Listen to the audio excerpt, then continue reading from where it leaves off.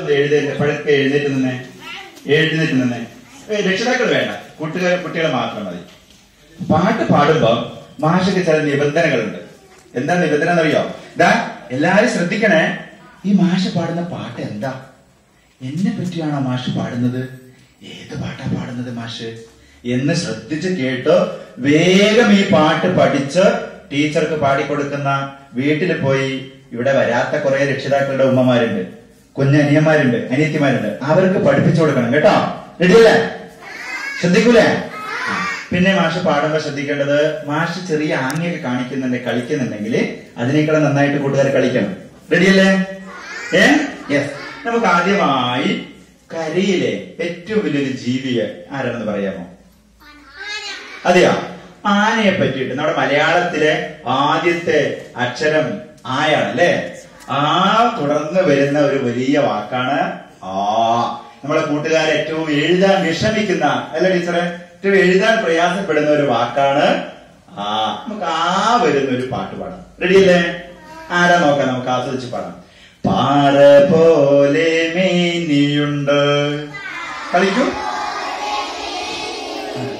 പാറ പോലെ മേനിയുണ്ട്. പെട്ടി പോലെ തലയുമുണ്ട്. പെട്ടി പോലെ തലയുമുണ്ട്. പാറ പോലെ മേനിയുണ്ട്. പെട്ടി പോലെ തലയുമുണ്ട്.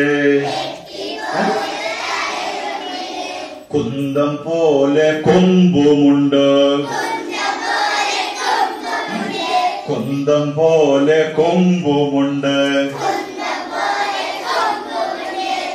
കോട്ടി പോലെ കണ്ണുമുണ്ട്.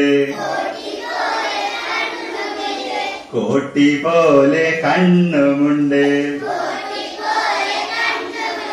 മുറം പോലെ ചെവിയുമുണ്ട്. മുറം പോലെ ചെവിയുമുണ്ട്. കയറ് പോലെ മൂക്കുമുണ്ട്. കയറ് പോലെ മൂക്കുമുണ്ട്. ചൂൽ പോലെ വാലുമുണ്ട്. ചൂൽ പോലെ വാലുമുണ്ട്. തൂണ് പോലെ കാലുമുണ്ട്. തൂണ് പോലെ കാലുമുണ്ട്. ആര് കൂട്ടര്? ഇവനാര് കൂട്ടര്? ആര് കൂട്ടര്? ഇവനാര് കൂട്ടര്? ആന കൂട്ടര് കൊമ്പനാന കൂട്ടര്. ആന കൂട്ടര് കൊമ്പനാ